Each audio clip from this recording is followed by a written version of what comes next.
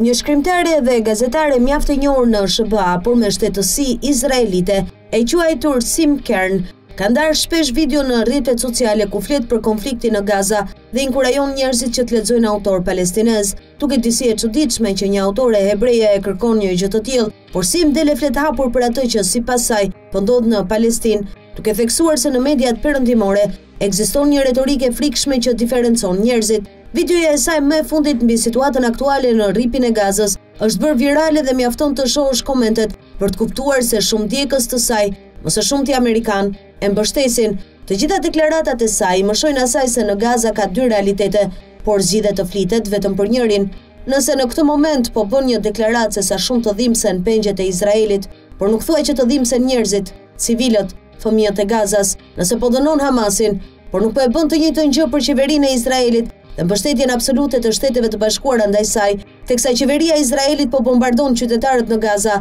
u ka bllokuar ushqimin, u ka prerë energjinë elektrike, një qyteti ku fëmijët përbëjnë 50 për qind të popullsisë, e ku për shkak të drejtave të shkelura njerëzit vuajnë mjerisht nga aparteidi, në burgun më të madh të botës, po përjetojnë dhunën konstante nga ushtria e Izraelit. Nëse nuk të ka interesuar se çfarë ka ndodhur në Palestinë, jo më larg se para dy ditësh, ndodh sepse ti i sheh izraelitët si njerëz, por jo palestinezët. Nëse jeton në Shtetet e Bashkuara, është e kuptueshme nëse nuk e ke pasur vëmendjen tek këta të fundit, Sepse mediat perëndimore janë tejet favorizuese ndaj të bardhëve, dhe kështu funksionon racizmi në fakt, izraelitët janë të bardhë, palestinezët jo. E sheh këtë diferencë që bëhet tek njerëzit, tek retorika e përditshme e medias, ku përshkruhen ndryshe izraelitët që mbeten të vrarë dhe krejtësisht ndryshe palestinezët që vdesin, duke lënë në hije agresionet e ushtrisë izraelite të cilat i cilësojnë si përplasje mes palëve dhe duke lënë po ashtu në hije aktet çnjerëzore që u bëhen palestinezëve, të cilat janë kaq të rëndësishme për projektin supremacist në Palestinë.